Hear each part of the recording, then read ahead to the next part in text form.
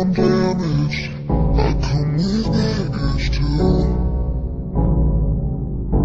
Just saying, I'm always broken and I don't wanna break you too. Don't come any closer, don't you dare ask to come over, cause I'll do something to make let you in.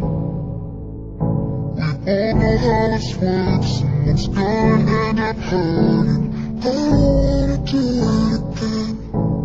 Some people fall out of love Some never find it some say it's right, but just not the right timing Some people make promises and then change their mind And somebody else comes along to make it one-sided all the things come to an end, why even start this up? I think I'm scared of I think I'm scared of